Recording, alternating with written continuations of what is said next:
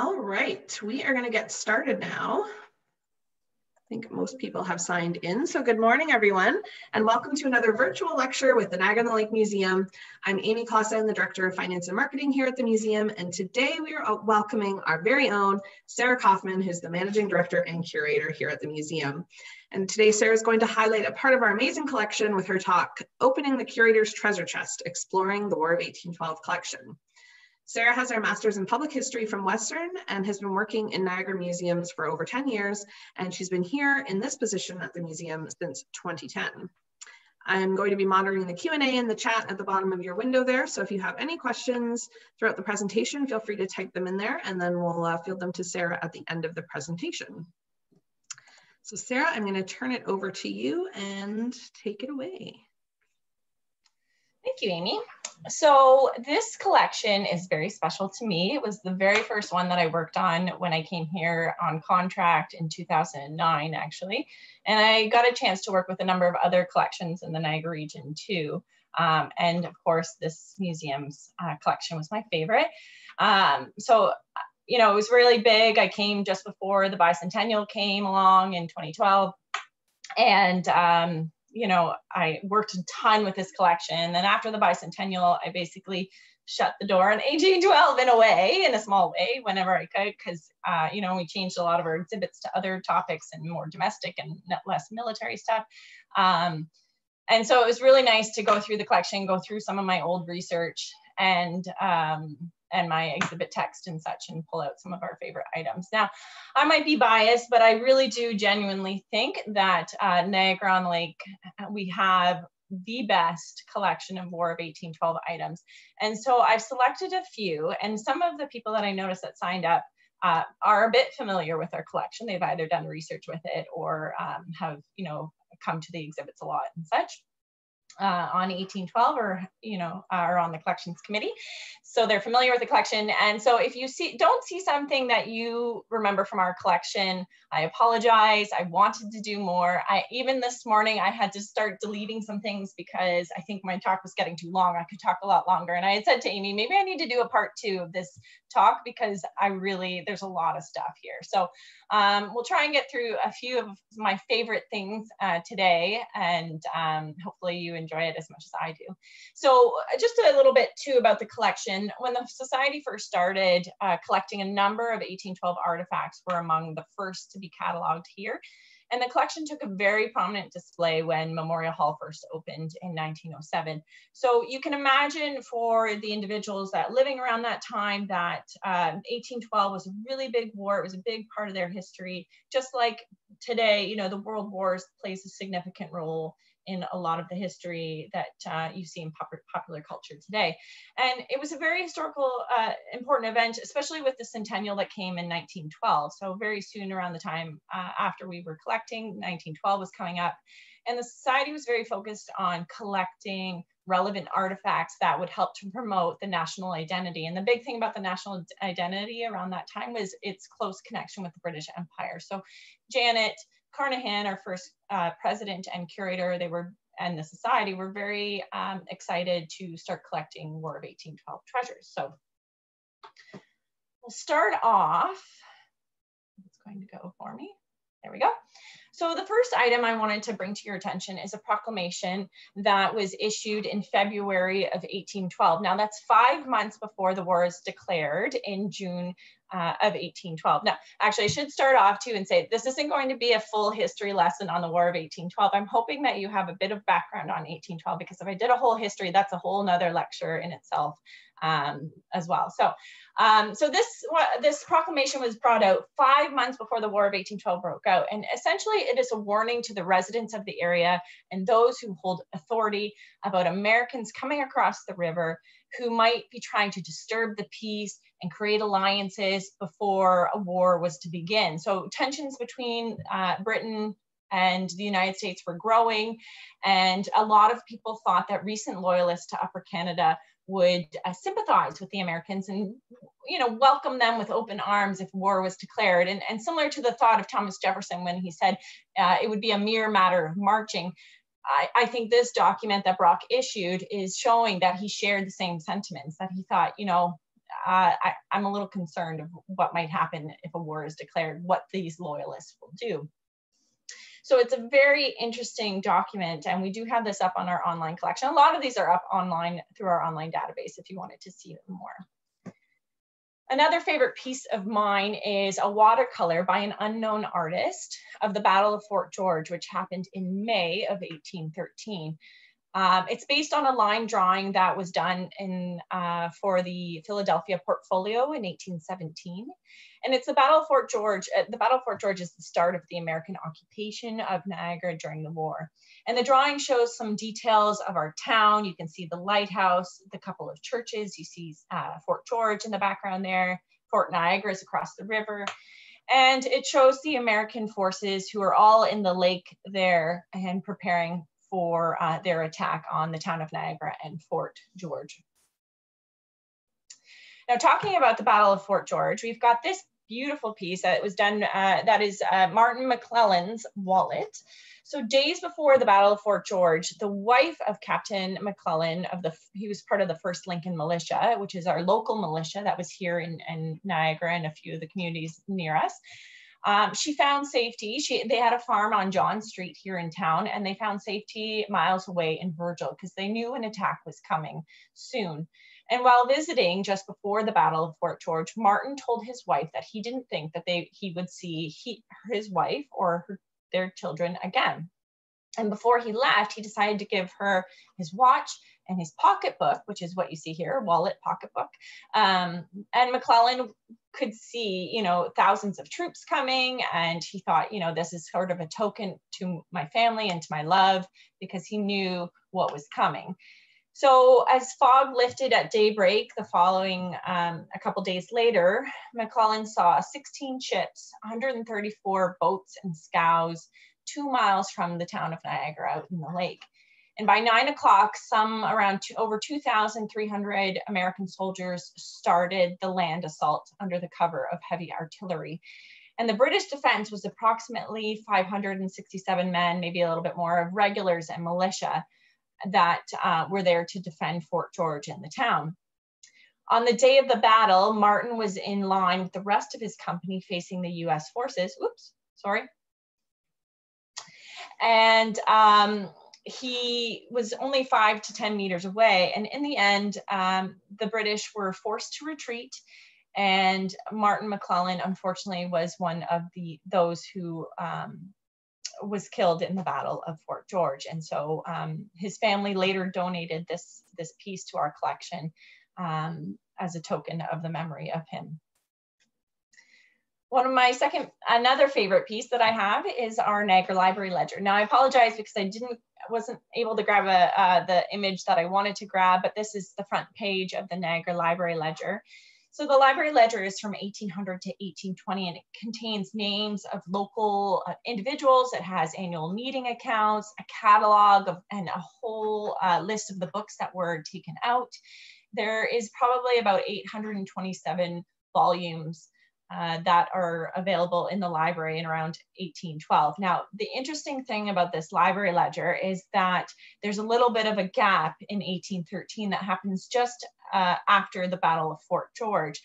And about a month after the Battle of Fort George, there's, there's a, um, a name of someone who signed up to you know subscribe to get books out of the, the library and his name is captain dorman and at the end it says us so it was an American soldier who signed up to, to get library books for a three month membership in June of 1813. And it's very curious.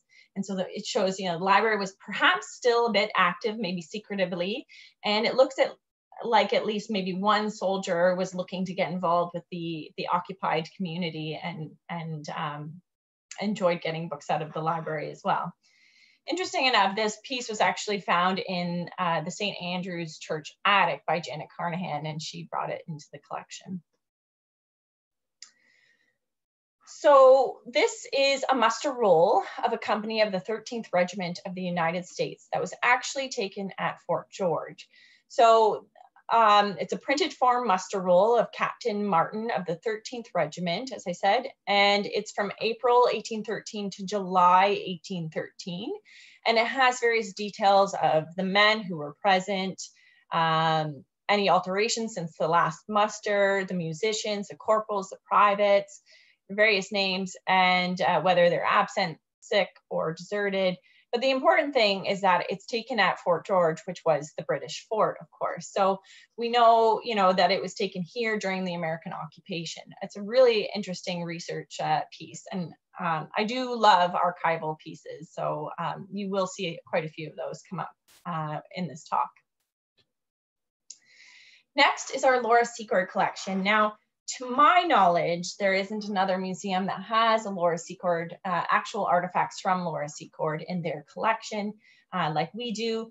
So many of you know the story of Laura Secord. In June of 1813, uh, Laura Secord's home in Queenston is occupied by US soldiers. And one evening, she, her and her husband, who was wounded at the Battle of Queenston Heights, and he's convalescing at home still at that time, uh, overheard Americans plan uh, their plan for attack on the on Beaver Dams. So the next morning, Laura sets out on her 32 kilometer trek to warn Fitzgibbon. Now, the importance of her role is often debated by a number of historians, but regardless, Laura's strength and determination are certainly worth recognition, and her story begins to uh, brings light to important uh, to the important role that women played in the War of 1812. Laura has since become a national hero. She's celebrated in theater and literature and even chocolates. And with the help of Emma Currie, who is one of the, our um, one of the early authors of Laura Secord's story, and actually a former resident of St. David's, um, with her help, Janet Carnahan was able to secure a number of items from uh, that belonged to Laura Secord from her granddaughter, Augusta Smith. And the collection includes her trunk, a wood link necklace, a bowl, a kettle, a silverware with her initials LIS, which you can see in the corner there. I've got uh, some sugar tongs that show the LIS, so that's Laura Ingersoll Secord. And um, there's a quilt as well, the basket. Uh, the quilt um, her granddaughter actually created it with textiles and pieces of embroidery that Laura um, that Laura created. So we have a couple items that, um, you know, it was, it was not uncommon that uh, residents of Niagara would hide their prized possessions before or during the 1813 occupation time in order to prevent them from being confiscated by the American troops. So two of the items that you see here were donated to the museum with such a story. First is the officer's blanket that was owned by Colonel John Ball and records state that it was used by Ball and Colonel Merritt to carry and hide British ammunition underground near St. David's. The second is a teapot that actually came in during the bicentennial time period from the Crooks family. They were descendants of James Crooks. And he, and James Crooks, uh, if you don't know, what he and his brothers were wealthy businessmen in Niagara who were involved in the shipping business. And the family had a property known as Crookston, which is now where Chautauqua area is, and it was also the site of the landing of the American troops during the Battle of Fort George. Uh, the family buried a number of items on their property on Crookston, and during the occupation period, this teapot was also one of the pieces um, from the family history that was buried on Crookston land. So we have a number of war loss claims in our collection as well. Following the war, many found their properties in disrepair, and it was time for the town to rebuild. One of the first steps was to make a claim to the British government for stolen or damaged property, and the plundering that took place during the war was carried out by American, British, and Native soldiers, everyone. In their detailed claims, many residents identified who it was exactly who stole their property or uh, damaged their property, and they estimated the value of everything, even down to the candlesticks, in hopes that the British government would compensate them.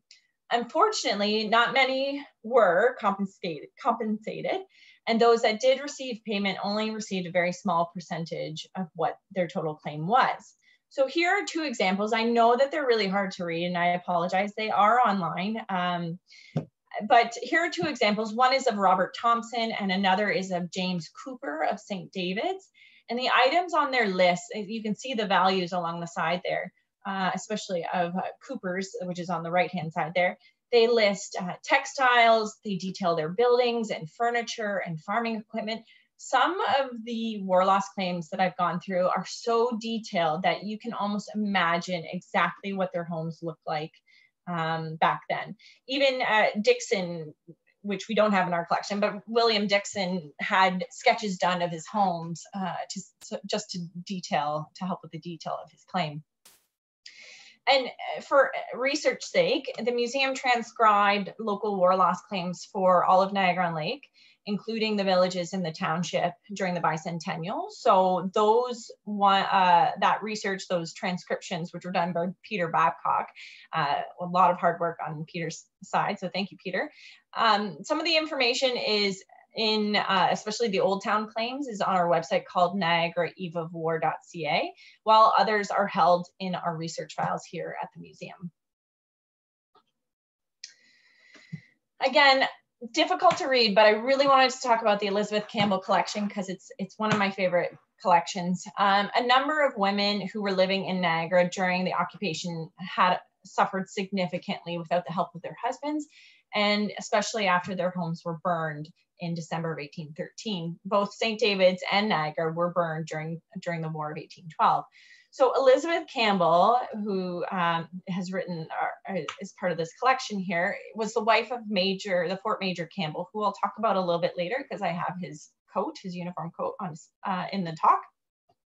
She was actually a single mom in 1813, and a series of documents that we have in our collection describe her experience during the burning and she lived quite comfortably in a story and a half house, uh, story and a half high framed house at the corner of Johnson and Victoria. And the house was very well furnished. They had a barn, they had two acres of fruit trees and such. And as recounted in a letter, which I've copied here, she was, quote, driven from her house with her three infants without the possibility of saving her own or their clothes and was, with Miss, Mrs. William Dixon exposed for three days and nights upon the snow without, with only the canopy of heaven for a covering. Her house, once the seat of hospitality and plenty, reduced to ashes before her face. A few valuables she had endeavored to save were torn from her by a monster in human form and carried off and divided. Her youngest child, named Eleanor, actually died of exposure on the way to find shelter outside of town. Many struggled during that harsh winter that followed, and Elizabeth was left without support and in desperate need of essentials such as candles and fuel, which were both important for heat and light during the dark and cold winter months. She received a bit of compensation for her losses, about 63 pounds, which is significantly less than what she claimed, which was um, 778 pounds. Unfortunately, there are very few firsthand accounts of the civilian experience of the burning of Newark, uh, Niagara by the American Army. And, you know, when studying conflicts that happened over 200 years ago, it can be difficult to look past the battles and the statistics to empathize with the realities of war. And I think Elizabeth's account exemplifies the civilian experience of the burning and provides a domestic and humanistic understanding of the War of 1812. Next up is Reverend Robert Addison's desk. It's a beautiful desk that we have on display. Some who lived outside of town were very fortunate not to have suffered the burning of Niagara, and many in the township came to, into town to help these people um, who were stranded in the cold. And Reverend Addison was one of those individuals. So in our collection, we're fortunate to have his black walnut desk. It survived the burning in December because it was kept in his home, which is called Lake Lodge, and it was situated out on the lake shore uh, outside of town. It still exists there today. And it would have been a notable feature in Addison's study. It was uh, constantly used for sermons, uh, you know, as he was preparing sermons and correspondence.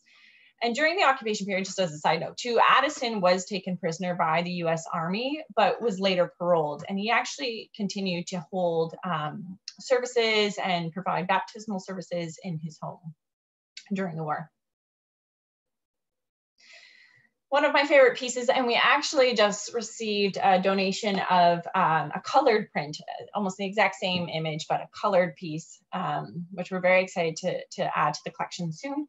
Um, this print is of the lighthouse that was located at Mississauga Point, where Fort Mississauga is today. And Dominic Henry was a retired Royal Artillery gunner during the Revolutionary War, and he was the lighthouse keeper in Niagara from 1803 to 1814. Now, during the Battle of Fort George in May of 1813, the Henry family, along with other residents, were caught in the middle of the American attack.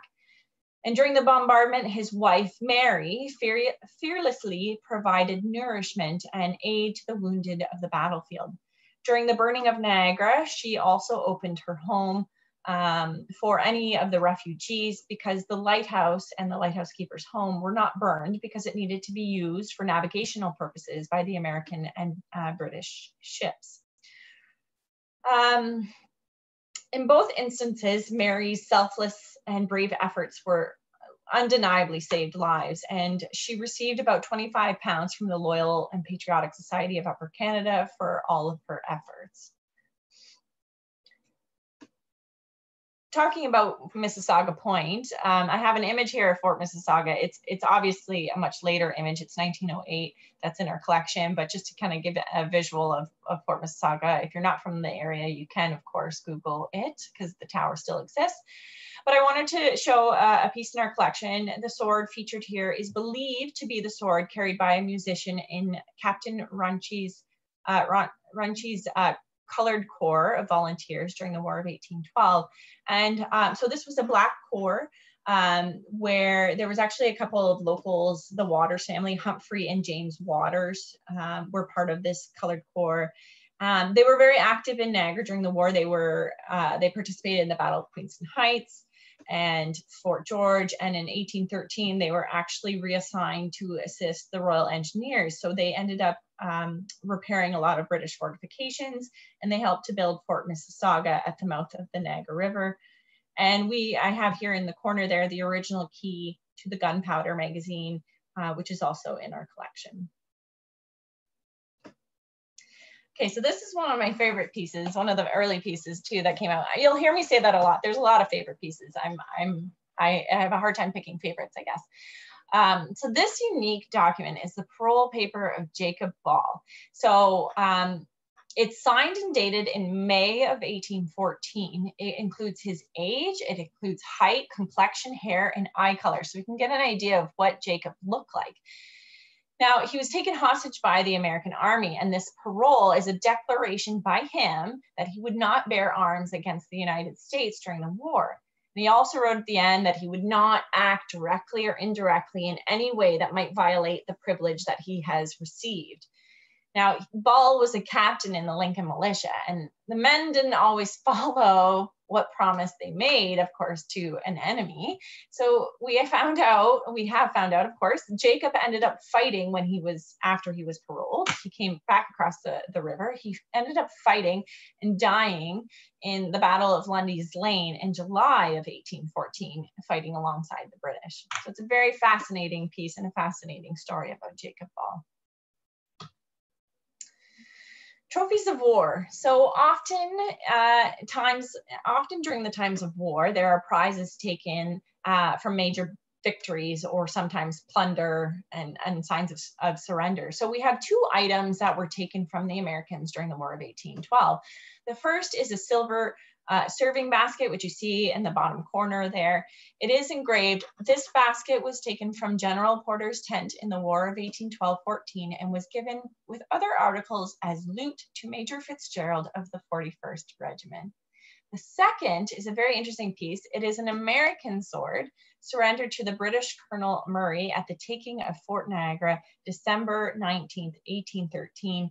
And um, this American officer's artillery sword is believed to have been surrendered by Captain Leonard of the U.S. Artillery Regiment and delivered to uh, Lieutenant Colonel John Murray of the 100th Regiment during the capture of Fort Niagara. So the, the capture of Fort Niagara happens, as I said, December 19th, 1813, which is it's essentially retaliation for what happened to Niagara, uh, the burning of Niagara, which was December 10th of 1813. Uh, so you'll see here a couple images of the sword. I tried to do some close-ups. You can see the American, um, the eagle on the pommel there of the sword and the ivory handle, the beautiful ivory handle, and the etchings um, that are on the blade itself. There were a number, there are a number of newspapers in our collection, including a few of one that was called the War newspaper. Um, and those include a lot of accounts of the War of 1812 from generals. Um, and there's even one called the Palladium, which I might be pronouncing that wrong, which expresses concern about the war and its effect on the American economy, talking about American business owners who didn't want the war to happen. Uh, because many of the businesses of those who, who were along the border relied on the cross-border trade as we do today, right? Uh, so they didn't want the war to happen and featured here, and I'm sorry, it's very blurry.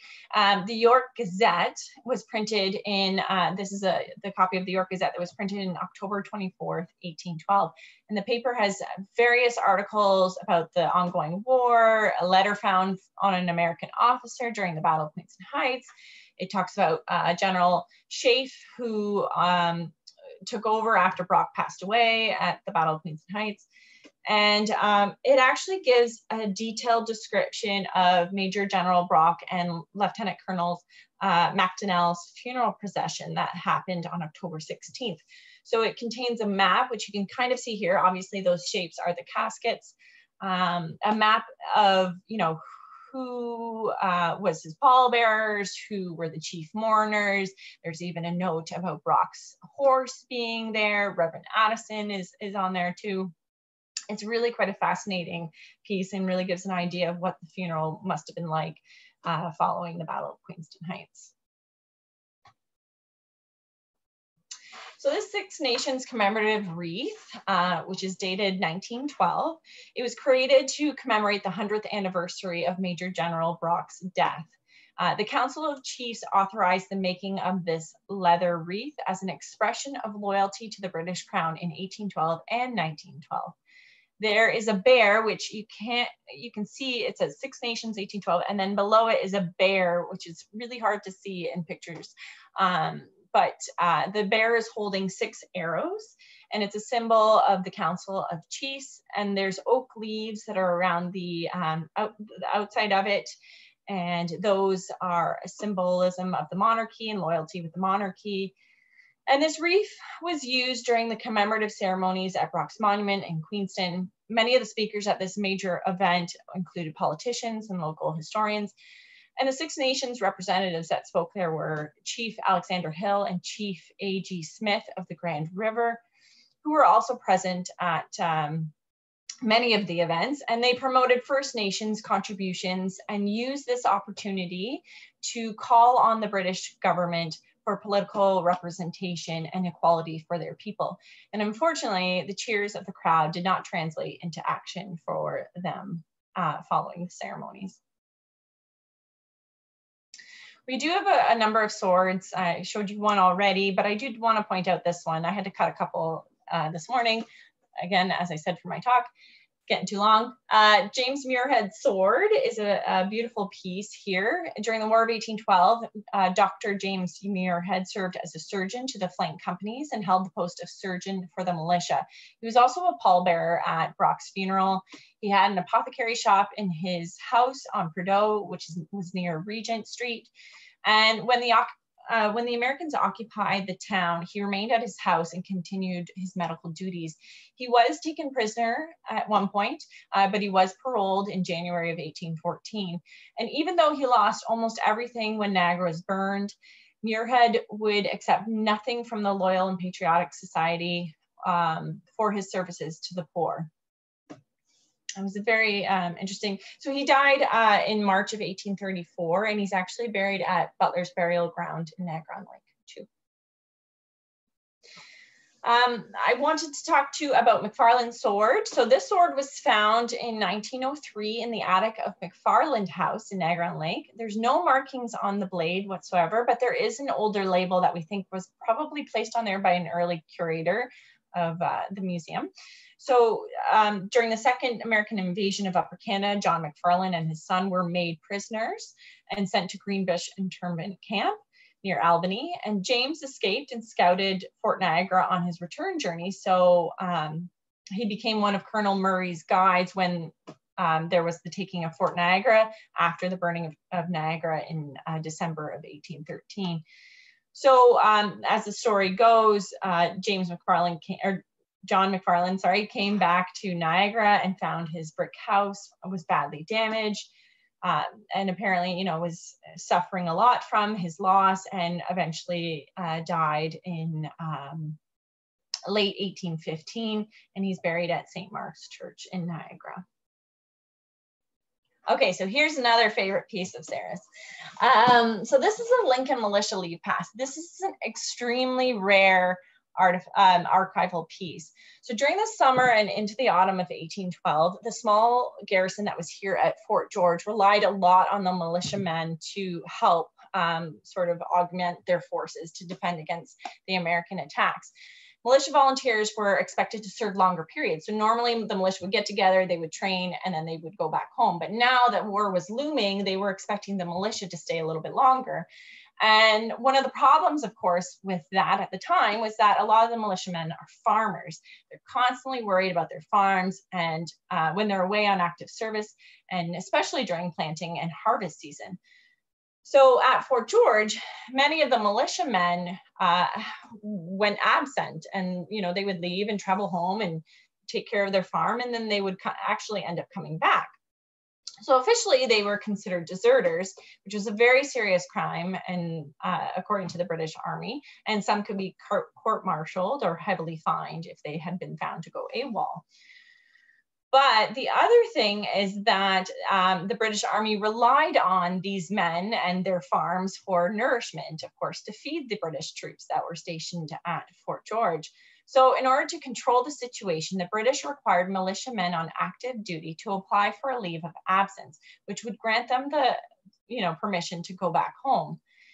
So what they would do if you didn't have this pass was that um, certain British forces or militia, and they even paid uh, bounty to native warriors who found anyone who um, was part of the militia and hadn't reported to duty, they were home and they didn't have pass, they uh, would would take them in. They they would get a bounty for um, taking them in uh, and reporting them to uh, the British officials. So it was very much in a man's favor to apply for a legitimate leave pass.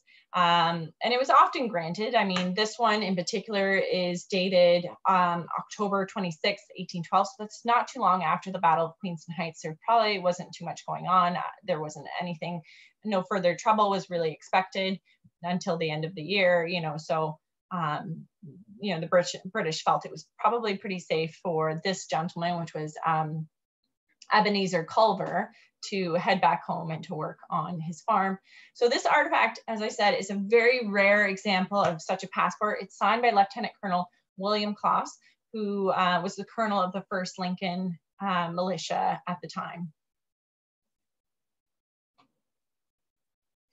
We have a number of uniforms in our collection, and this one in particular is the uniform of Fort Major Donald Campbell. I couldn't show all of our uniforms, unfortunately, I had to cut a couple, but uh, this one in particular is of Campbell. Now, I had spoke about Elizabeth Campbell previously.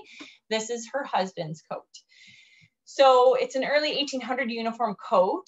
And as I mentioned, he was a Fort Major at uh, Fort George, which means he was essentially an administrator, administrative position. He didn't work directly with any regiment. He worked directly with the British Army. Um, he had a long and, oh, I'm sorry. Um, he had a long and wide-ranging career. Sorry, I'm trying to mute it. There we go. I'm the only one in the museum today, so I'm sorry about that. Um, in his senior years, um, he the position of Fort Major would have been very attractive for uh, an older gentleman. And the coat is missing its collar and its lapels. There's also a silver epaulette that you can see uh, on the shoulder there, uh, but it's not known if this is original to his coat. There's also a false pocket on the back of the coat. And for as Fort Major, Campbell would have worn a coat of um, one of his previous regiments likely, but none of his previous regiments had the blue facings with um, with the red coat. So it's more likely that he bought this coat from another officer or possibly had it made locally uh, in a generic British officer style. Um, as research has shown that there's no specific uniform requirement for his position at the time.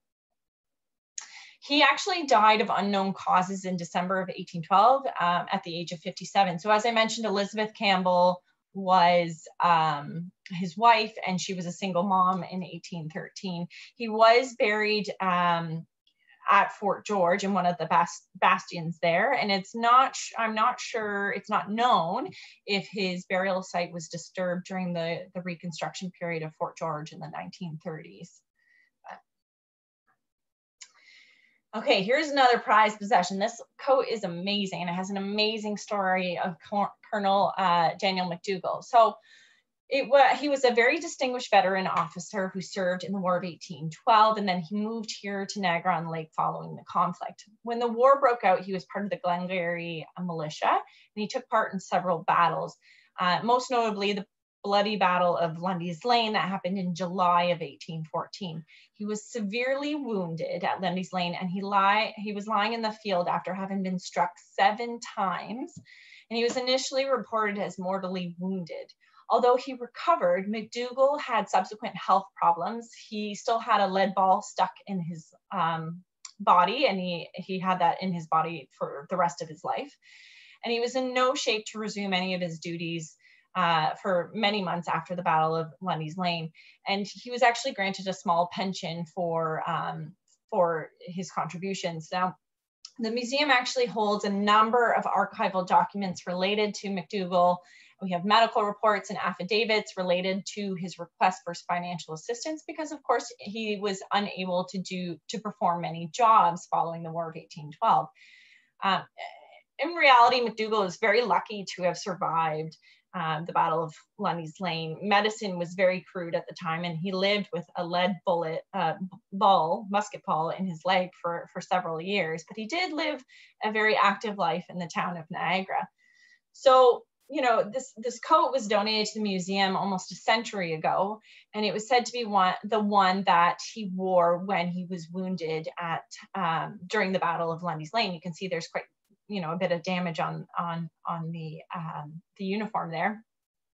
And garments like this in in in this history are very rare. And the fact that it was made locally, it was likely made locally. That's what the research uh, has shown, and survived all this time largely unaltered is even more amazing. It's really quite a beautiful coat with with a great story.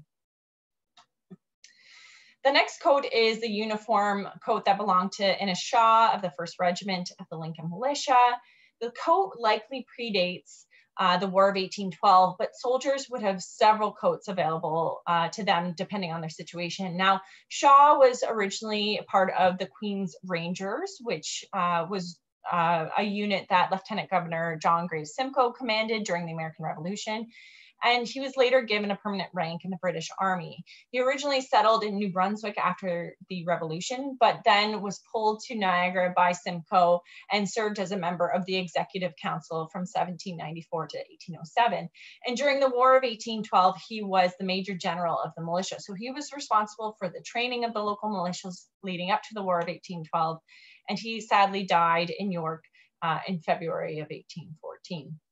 I have an image here. Now that's not the coat that we have on display. I just wanted to show you, this is a 1902 artist rendering of Shaw, just to give you an idea of what he looks like.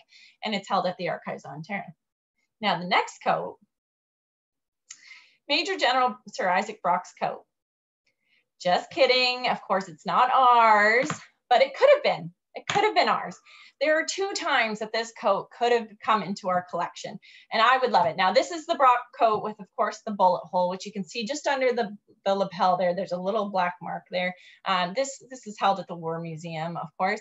But the first time that it could have come into our collection was with Janet Carnochan, um, as I mentioned, the first president and one of the early curators. Um, she lobbied the Brock family of Guernsey to send it here to Niagara on the Lake.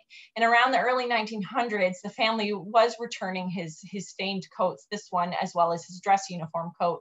Uh, but unfortunately, the Dominion Archives, as it was then known, um, wouldn't let that happen. And they stated that the family explicitly wanted it to stay in Ottawa. Sure. Uh, the second time was in 2012 when we had it on display for the Battle of Queenston Heights anniversary. And I worked my charm as hard as I could on behalf of the residents of Niagara on the Lake for them to leave the coat here because it was most fitting to be in our collection. Uh, and I, I tried uh, to hold my grip on the shipping container as much as I could, but unfortunately they were pretty persistent that it had to go back to Ottawa. It would be lovely to have it though we were happy to have it on display for the anniversary of the Battle of Queenston Heights nonetheless. And the last item that I'll really talk, uh, focus on is Brock's hat. So we talked about his coat. Well, it was reunited with a hat briefly during the Battle of Queenston Heights anniversary uh, display. And this, this is Brock's hat. As I said, it's a felt hat with ostrich feathers.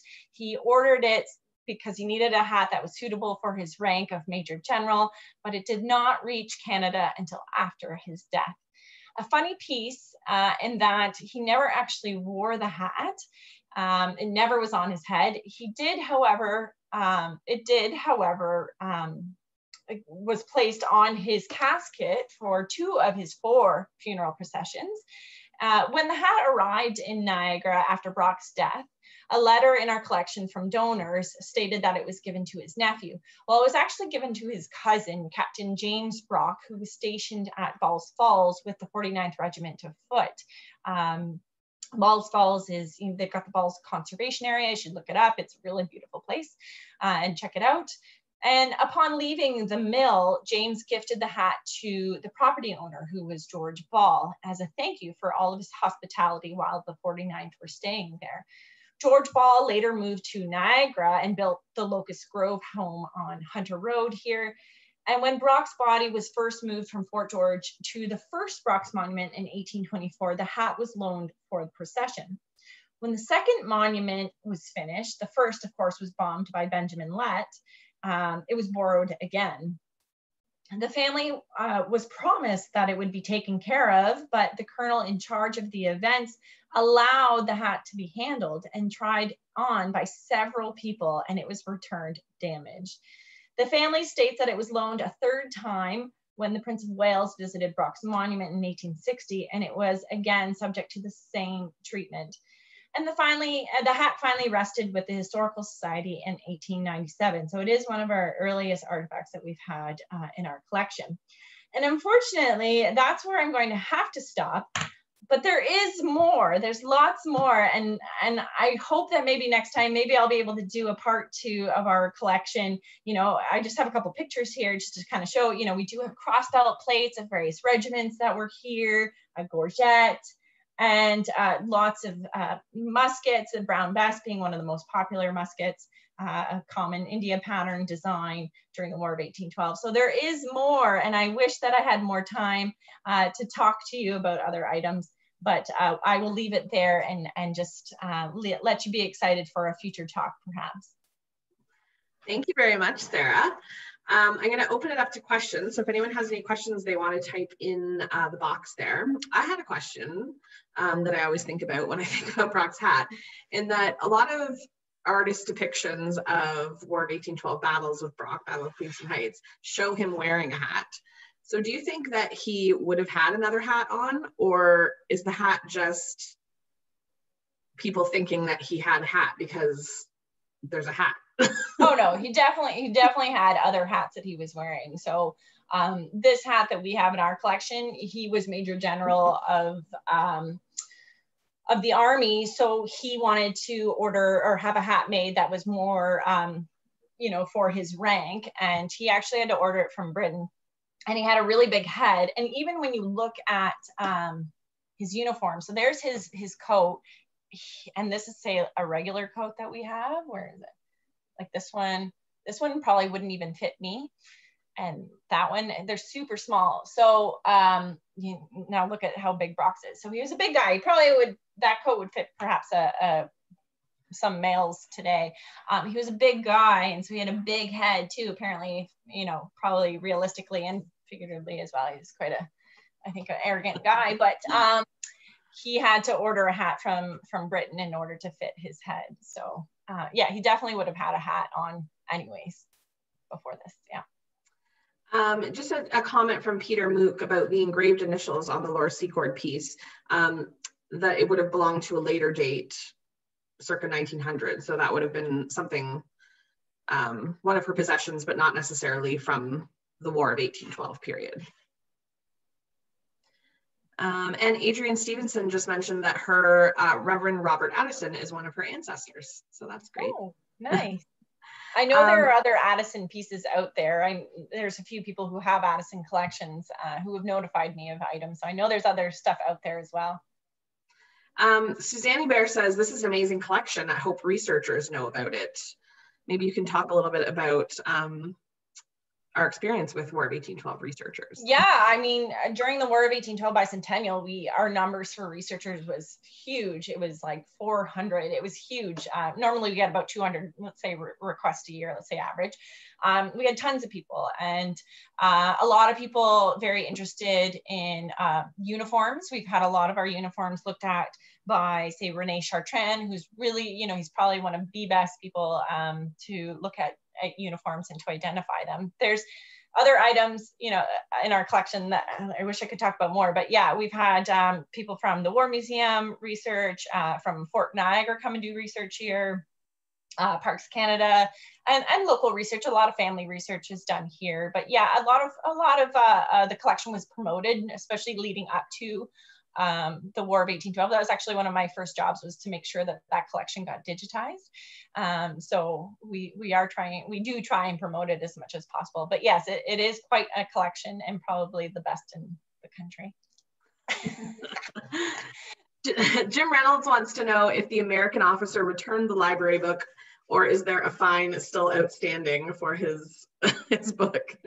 Good question. Well, interesting enough, uh, so I said there was probably about 800 books that were in the library beforehand. And following, uh, so when the library picked up more after the war, which really didn't happen probably until about 1816, I think is when it happens, there's only about 200 books. So a lot of the books um, were likely burned uh, during the War of 1812. And we have one book, I think it's just one, maybe two, one book uh, in particular that we have found that has the, the book plate uh, for the Niagara Library and is in the registry of their books that we have in our collection. So it's amazing that the library ledger and this book even survived the burning of the town. And Andrew Heron was the librarian, the keeper at the time, um, who he somehow, it must have been saved from by Heron or a relative of his family. I'm not sure, but as far as I know, I don't, well, I don't know if it was returned. So we'll have to talk to Kathy Simpson at the library and talk to her about complying. um, Melanie Chittenden, who joined us today, uh, has a couple ancestors, Sheaffe, but also uh, the American General Van uh, Rens, I can never say his name. Rensselaer? Yeah. Yeah, that's a hard one. so it's, it's very interesting that we have, uh, we have some genealogists here with us today. Awesome. So uh, the you see Brock's coat, which it seems awful that I really pointed out Brock's coat, but the one lying down in front of him was Sheaffe's coat that came back to Canada as well during the bicentennial. Um, and there is, I believe, a Shafe chair out there in the world of um, collectors as well that came across into our collection as well. But that coat that's lying down, that's really decorative, that's the dress uniform of Sheaffe. Uh, and I cannot recall where it went afterwards, after being here briefly. Uh, Peter Mook wanted to know, does the NHS want a Guernsey 10 pound banknote with Brock's portrait and an illustration of the Battle of Queenston Heights? well, we're always taking uh, donations. Our collections committee haven't uh, met in a little while, of course, because of the restrictions and trying to figure out how to do collections digitally. Uh, but Peter, we're, we're definitely interested and I can bring that to the collections committee and uh, we can talk about it because I don't think we have anything like that in our collection. So that would be really great. Uh, Serena wanted to know if the document image that's on the Facebook event page, um, is that document actually signed by Brock and, or would it have been transcribed by someone else? I think you used a, a commission. So yeah. we do have a couple commissions in our collection, military, uh, like appointments, commission documents in our collection that are actually signed by Brock. They are. Um, you mentioned uh, Christopher Choi says you mentioned Butler's burial grounds. Are there any plans to refurbish it since it's in a state of disrepair? Uh, I know there was, it was brought to the town of Niagara Lake's uh, attention and a committee was struck. Um, the committee met a couple of times, but unfortunately then uh, when we were discussing it, uh, COVID hit last March and there hasn't been any discussions at this time. It's owned by Parks Canada, so they would be the best person to talk to. I mean, um, you don't want to disturb the property too much. I know a lot of the stones were redone when Niagara Parks owned the property and, you know, there were new stones put in so people could read what was put on the stone, the original stones. I know the walkway up to it could really probably use some work, um, but the, those questions are probably best directed towards Parks Canada. And if you want, I can put you in contact with those people. Um, Judy said supposedly there were two homes not burned in 1813. Uh, where were they and what happened to them? Yes, so um, and this is coming from Joy Ormsby's research. So when I first started here, I worked a lot with Joy Ormsby, and uh, she's an amazing researcher. And her research found that two homes on Johnson Street were the ones that weren't burned. One was the, um, I'm forgetting the house now. It's a very well-known family. Um, oh, I can't remember clench, what her name is. Clench, clench, clench house, clench house, clench house. Um, was one of them, uh, and it burned. I think it was months later, and it was an accidental fire that was lit. I think for it's been a while since I've done this, Judy. So thanks for testing me. Um, lit for laundry, like they were heating up the water. I think for laundry, and it was an accident, and it burned down not long after that. Uh, so it was an accidental fire. And then the second home that survived was actually torn down by the town or by the town of Niagara on Lake in the early 1900s or a community person uh, because they, and they didn't know the history of that home. Now this is in in the old town area. Of course, there are homes outside of the old town area that survived. You know, there's McFarland's house and Field's house and Lake Lodge, of course, that survived.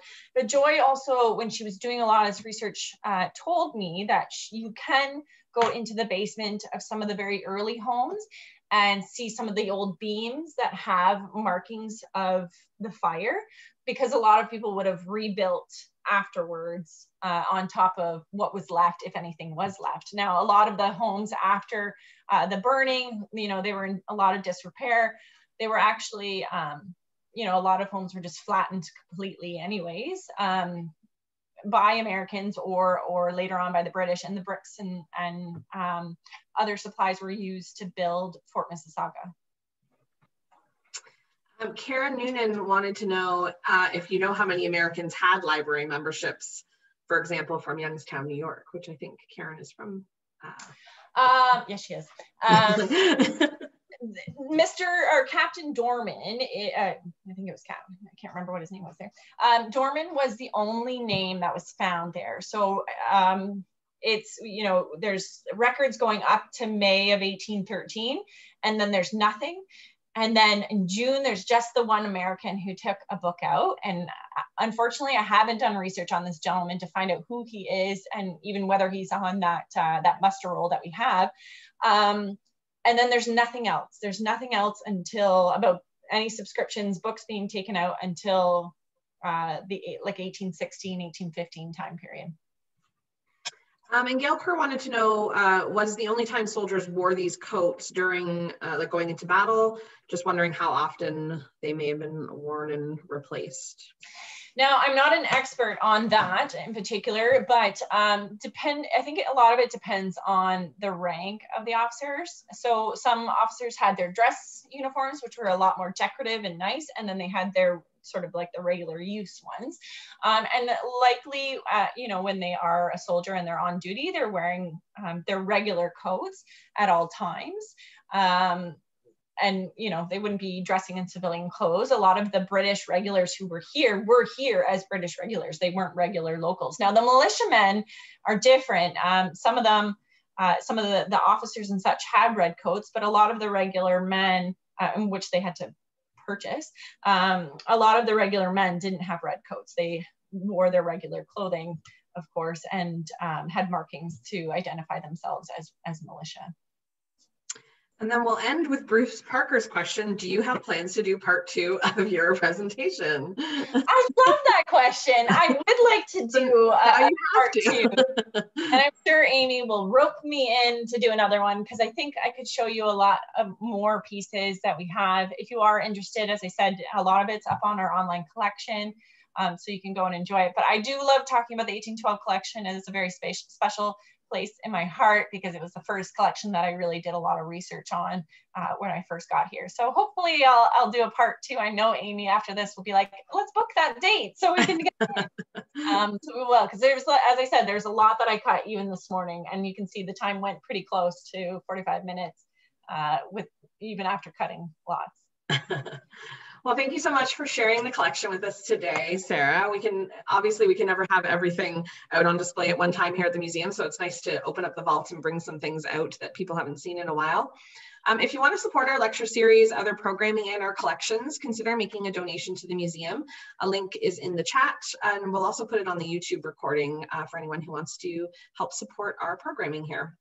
Our next speaker is February 24th at 11 a.m. And we've got Scott Finley of Parks Canada, who's going to present The First Cut is the Deepest, a look at medical practice in the Army during the Regency period. So that one should be interesting. Please note that that talk will not be recorded, so you'll have to catch that one live. And hopefully we'll see you in two weeks. Enjoy the rest of the day, everyone. Bye.